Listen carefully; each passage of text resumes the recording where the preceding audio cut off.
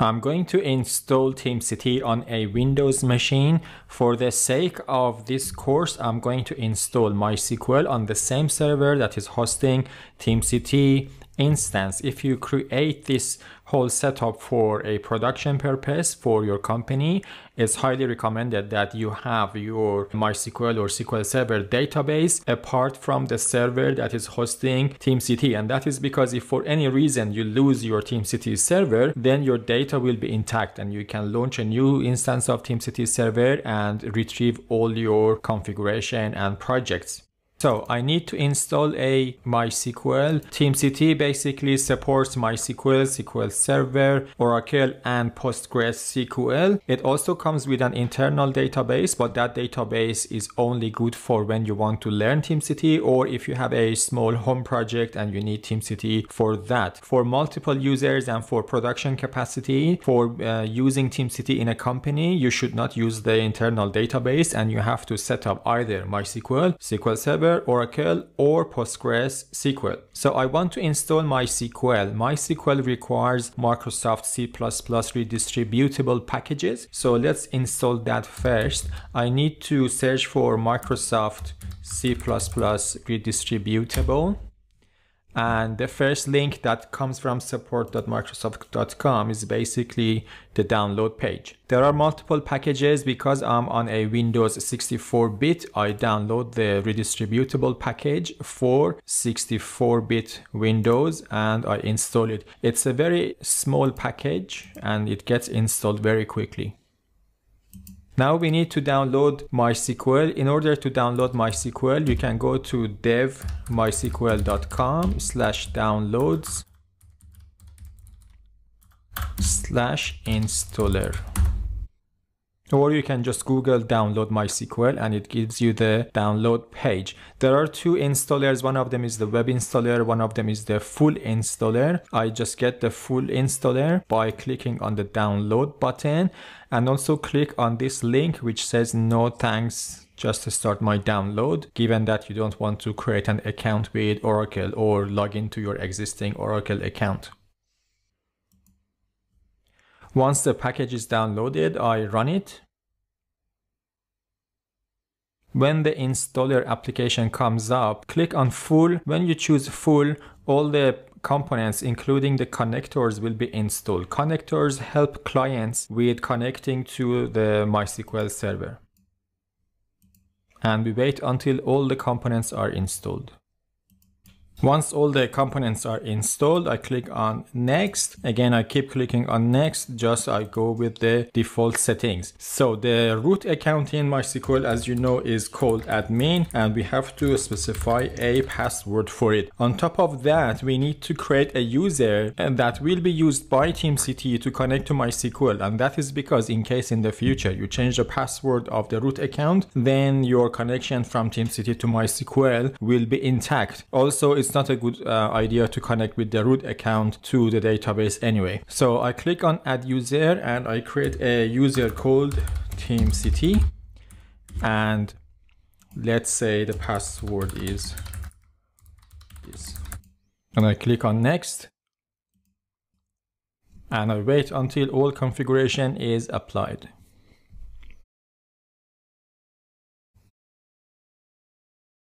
And we are done.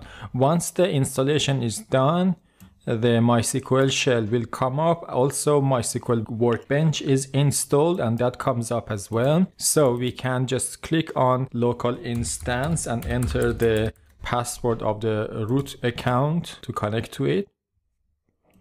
In the query window, now we can create a database. I can say create database and let's call it TeamCity. By default, when you install MySQL, all the table names must be lowercase. So I just use TeamCity with lowercase characters. And then we need to grant access to a user that we just created. I mean the TeamCity user to database that is called TeamCity. So I need to say grant all uh, privileges on TeamCity dot star means all the object to TeamCity and we run this script and basically we are done with MySQL. I can close all the clients. Now we need to download and install TeamCity. You can download and install TeamCity from jetbrains.com slash TeamCity or again just Google it. For example, if you cannot be bothered to remember the link or address of TeamCity, just Google download TeamCity and you get this link which is JetBrains TeamCity and forward slash download is basically the download page. So you just download the installation package. Once the installation package is downloaded, we just run it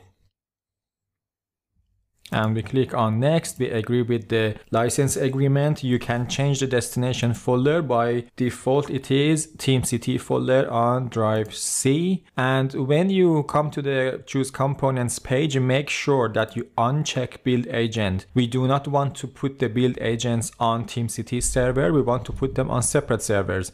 So make sure that you uncheck build agent and you click on next and wait until all the files are copied once all the components are installed, TeamCity will ask you to specify a port in order to connect to the basically TeamCity web user interface. Make sure whatever port you choose is not already in use. It's not blocked by the firewall. If you are using Azure or Amazon Web Services, make sure your security group allows uh, traffic via this port. For example, this machine that I am using, this server is basically an instance on Amazon Web Services so if I go to the console of Amazon Web Services, you will see that this is the server I'm using and it has security groups. If you don't know much about Amazon Web Services, security groups are basically like firewall settings. So in the inbound rules, as you will see, I have opened port 80 for IPv4. So what that means is that if you use HTTPS, make sure you open HTTPS port. If you use an unconventional port, make sure that port is also open. So we click on next and these are the basic configurations of TeamCity. The only config you need to change is basically server URL. Because we are going to put the agent on separate machines or separate servers, the agents will try to connect to your TeamCity server. So they should be obviously able to find your TeamCity server. Now, if the IP of your TeamCity server is going to change, you need to create a domain name and uh, use that domain name. So the domain name will be assigned to your machine or to your load balancer, and then you use that address. In my case, I'm using an elastic IP, which means this IP won't change. So I can use the IP. Once again, if you are using any IP that may change, or if your server is publicly accessible on the internet, you better just register a domain and then use that domain to connect to your server. Or if you have Active Directory, for example, and you manage your local domains, create a local domain and use domain instead of IP. Because again, if this IP changes, then build agents that you will create soon, if they will not be able to find the ser server. So I click on save. In the next page, it's asking you that which user account should run the Windows service of TeamCity. Just leave it to system account and click on next.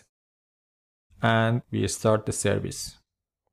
As soon as you start the website, what happens is that you need to configure database and everything. And that is only done the first time you ever run TeamCity. I think it's much easier if we go back to Chrome. I'm not a big fan of Internet Explorer, so I can go to HTTP localhost and this is the setup screen of TeamCity. I click on proceed and the first thing we need to do is basically to connect to our database, which in our case is MySQL. So the default option is the internal database. As I said, only choose this when you install TeamCity for learning purposes. For production use, you can use SQL Server. A lot of companies already use SQL Server for their own products, so it's not a problem if you use SQL Server. You can also use Oracle. Again, if you already have it, MySQL is a good option and also PostgreSQL is a good option. So I choose MySQL. So when you install TeamCity, it doesn't come with the database drivers and that is because of licensing problems. So click on download JDBC drivers and it will download the drivers that it needs. Then you can now connect to the database. Because in my case, MySQL is on the same machine, I can use local localhost. Otherwise, you have to put the address of MySQL server in here. Database that we created was TeamCity and username was TeamCity and I gave it a password. It's going to take a while to create the database and add all the components, so we have to wait. Once all the components are installed, you will be redirected to the license agreement. Make sure that you read this properly and you click on accept license agreement.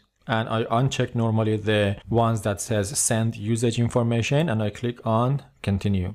The last step in setting up TeamCity is basically to create an admin user. For example, we can say the user is admin and we create a password for it make sure that you keep this username and password safe because that is basically your root account and as you see now TeamCity is up so right now we have TeamCity uh, set up but the problem is that we don't have any build agents right now so we cannot build anything. In the next lecture i want to explain how we install teamcity on a linux based machine. If you don't want to install anything on linux you can skip the next session. And after that i will show you how we install and create build agent servers. Once we have the build agent servers then we can basically go and check out the source code and compile it and create packages. I'll let you uh, have a look around in teamcity and we start working on build agents soon.